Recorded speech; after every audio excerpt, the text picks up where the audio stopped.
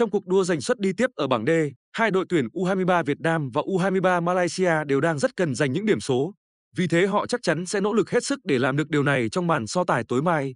Tại vòng chung kết U23 châu Á 2024, đội tuyển U23 Việt Nam đang có sự khởi đầu như mơ khi đánh bại đối thủ Kuwait với cách biệt 3-1. Trong khi đó, U23 Malaysia dù chơi đầy nỗ lực nhưng vẫn phải nhận thất bại 0-2 trước đội bóng đương kim Á quân Uzbekistan sau những sai lầm cá nhân của các cầu thủ.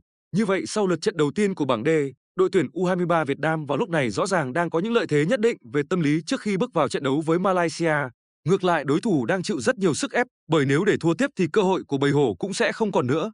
Dẫu vậy, khi đã bị đẩy vào chân tường, U23 Malaysia chắc chắn cũng sẽ vùng lên mạnh mẽ. Họ sẽ phải thi đấu với tinh thần không còn gì để mất trước các học trò của ông Hoàng Anh Tuấn. Bởi trong trường hợp U23 Việt Nam và Uzbekistan cùng có thêm 3 điểm ở lượt trận này thì khi ấy hai đội Malaysia và Kuwait sẽ chính thức phải dừng cuộc chơi từ vòng bảng. Tại giải đấu năm nay, U23 Malaysia không được giới chuyên môn đánh giá cao. Họ giành vé tới Qatar với tư cách một trong bốn đội hạng nhì có thành tích tốt nhất. Trước đó ở vòng chung kết U23 châu Á cách đây 2 năm, U23 Malaysia bị loại sớm trong khi U23 Việt Nam đã có vé đi tiếp với ngôi nhì bảng. Theo giới chuyên môn đánh giá, khi đã ở vào tình thế hiện tại, U23 Malaysia sẽ buộc phải dâng cao tấn công U23 Việt Nam ngay từ đầu để chiếm lợi thế. Trong trận đấu hôm 17 tháng 4 vừa qua, đoàn quân của huấn luyện viên Juan Torres Garrido đã gây bất ngờ khi chủ động cầm bóng tấn công và đã ít nhiều tạo được những pha uy hiếp trước khung thành U23 Uzbekistan. Mặc dù những nỗ lực đó đã không trở thành bàn thắng, song đó cũng sẽ là một lời cảnh báo nhắc nhở U23 Việt Nam không được chủ quan, lơ là trước bầy hổ trong 90 phút tranh tài sắp tới. Với những gì đã thể hiện ở trận gia quân, rõ ràng đội bóng của huấn luyện viên Hoàng Anh Tuấn lúc này vẫn đang còn bộc lộ nhiều hạn chế.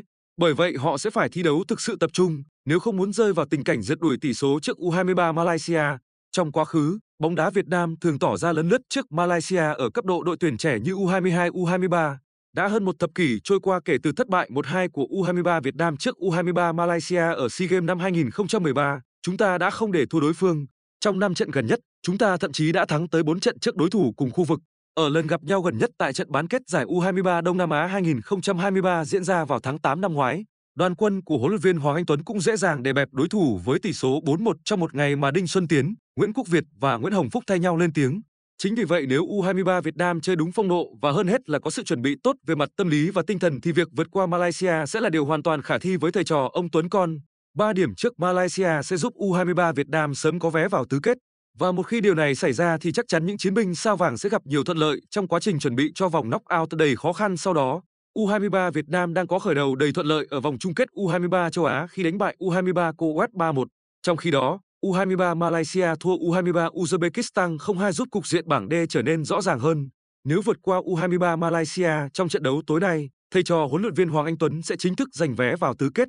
Đây là điều rất quan trọng, bởi lẽ ở trận cuối cùng của vòng bảng, U23 Việt Nam phải gặp đối thủ rất mạnh là U23 Uzbekistan.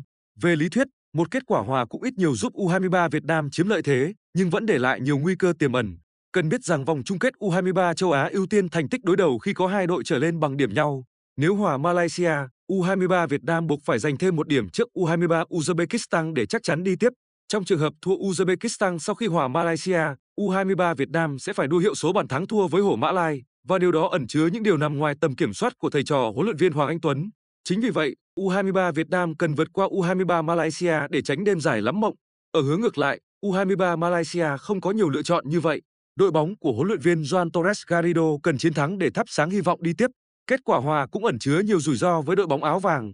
Với tình thế như vậy, không bất ngờ nếu U23 Malaysia chơi tấn công phủ đầu ở trận này. Trong cuộc họp báo trước trận, huấn luyện viên Juan Torres Garrido cũng tuyên bố cho đội bóng của ông chơi tấn công.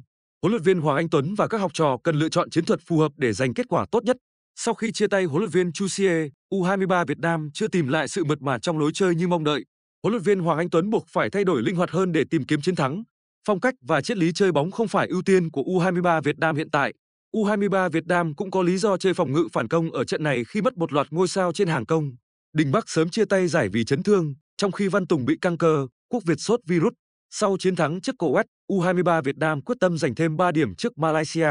Kết quả này sẽ gần như đảm bảo suất tứ kết AFC U23 ASEAN Cup 2024 của thầy trò huấn luyện viên Hoàng Anh Tuấn. Trong ngày ra quân tại vòng chung kết U23 châu Á 2024, U23 Việt Nam đã vượt qua Kuwait với tỷ số 3-1. Kết quả này giúp thầy trò huấn luyện viên Hoàng Anh Tuấn có được lợi thế lớn trong việc tìm đường vào tứ kết. Mọi thứ sẽ rộng mở hơn nếu U23 Việt Nam đánh bại U23 Malaysia ở lượt trận thứ hai. Chỉ cần U23 Việt Nam chơi đúng sức, đây là mục tiêu vừa tầm của các chiến binh sao vàng. Chiến thắng trước U23 Kuwait đã ghi một cột mốc mới cho U23 Việt Nam. Đây là lần đầu đội bóng áo đỏ giành được 3 điểm, ghi được 3 bàn ngay trong trận gia quân giải U23 châu Á. Trong buổi họp báo, huấn luyện viên Hoàng Anh Tuấn cho biết chưa hài lòng vì các học trò có tâm lý căng cứng và chơi không đúng trình độ vốn có. Tuy nhiên, không thể phủ nhận kết quả này đã mang đến tinh thần phấn chấn và niềm hy vọng sau khoảng thời gian ảm đạm của bóng đá nước nhà trước đó. U23 Việt Nam đang tiến rất gần đến tấm vé vào tứ kết. Mục tiêu này sẽ trở thành hiện thực nếu đội bóng áo đỏ đánh bại Malaysia và Uzbekistan không thua Kuwait. Xét đến điều kiện thứ hai, cửa thắng của Kuwait rất hẹp khi gặp đối thủ mạnh nhất bảng D. Ngay cả khi điều ngược lại xảy ra, thầy trò huấn luyện viên Hoàng Anh Tuấn vẫn còn cơ hội nếu có kết quả tốt trước Uzbekistan trong lượt đấu cuối. Để tránh phải đi đường vòng, thắng Malaysia là điều kiện tiên quyết với U23 Việt Nam. Sự tự tin của U23 Việt Nam đã tăng lên đáng kể sau trận thắng đậm đầu giải. Trong số các nhân tố đạt phong độ cao, đáng chú ý hơn hết là Bùi Vĩ Hào, cầu thủ của Bình Dương tích cực pressing, di chuyển và mang về cú đúp cho đội nhà. Cái tên khác nổi trội không kém là là Văn Trường, vào sân thế chỗ Đình Bắc chấn thương, tiền vệ thuộc biên chế câu lạc bộ Hà Nội lập tức để lại dấu ấn với nhiều pha đi bóng lắt léo, chuyền bóng chính xác và đóng góp một kiến tạo cho U23 Việt Nam. Ngoài ra, Võ Nguyên Hoàng, Thái Sơn, Lê Nguyên Hoàng hay Minh Khoa cũng thể hiện tốt. Màn trình diễn của các cầu thủ cần được giữ vững trong trận gặp Malaysia, qua đó mang đến cơ hội giành chiến thắng và tìm kiếm tấm vé tứ kết cho U23 Việt Nam. Trái ngược với tuyển Việt Nam, Malaysia có khởi đầu kém tươi sáng khi thất thủ không, hai dưới tay Uzbekistan. Nếu muốn nuôi hy vọng đi tiếp, các học trò của huấn luyện viên Juan Torres Garrido buộc phải thắng trong trận derby Đông Nam Á tối nay. Thử thách này không dễ vượt qua với Harimau Muda. Trong 5 lần gặp nhau gần nhất, U23 Malaysia thua cả năm. Dù được xem là khắc tinh của đối thủ, U23 Việt Nam cũng không thể chủ quan. Bản thân các cầu thủ áo đỏ đã để lộ sự lúng túng, thiếu liên kết khi đấu với Kuwait, đặc biệt trong hiệp 1. Đây là nguồn cơn nhận xét nghiêm khắc của huấn luyện viên Hoàng Anh Tuấn. Việc này có thể thấy rõ qua thẻ đỏ không đáng có của Ngọc Thắng, tình huống va nhau của Văn Khang, Văn Tùng và pha xử lý thiếu quyết đoán của Minh Quang trước cơ hội ghi bàn 10-10. Trong khi đó, tuyển Malaysia dù thua cuộc nhưng dấu ấn để lại trong trận gặp Uzbekistan không ít. Họ chủ động đánh phủ đầu đội bóng Trung Á ở những phút đầu tiên và tạo ra được một số cơ hội tốt. Mọi thứ chỉ trở nên khó khăn khi Malaysia nhận bàn thua trước và đôi chân trở nên nặng nề vì áp lực. Huấn luyện viên Garrido chắc chắn sẽ có điều chỉnh trong cả đội hình và chiến thuật để cải thiện tình hình. Saravanan Thirumurugan là một trong những phương án có thể đem đến sự tươi mới trên hàng công của đối thủ. Nazmuddin Akmo và Hakimi Arim Rosli cũng hứa hẹn cũng mang lại những bất ngờ cho Harimau Muda. Nhìn chung, U23 Việt Nam vẫn được đánh giá là cửa trên. Nhiệm vụ chiến thắng là khả thi nếu chúng ta kịp thời hoàn thiện lối chơi. Việc giành trọn vẹn 6 điểm sau hai lượt đá đầu sẽ giúp các chiến binh sao vàng dễ dàng thực hiện những toan tính ở phía trước. Diễn biến của vòng chung kết U23 châu Á 2024 được tường thuật trực tiếp và trọn vẹn trên hệ thống FPT Play. Độc giả truy cập website https FPT Play Việt Nam hoặc tải ứng dụng FPT Play để theo dõi trận U23 Malaysia, U23 Việt Nam vào 20 giờ 30 phút tối nay ngày 20 tháng 4.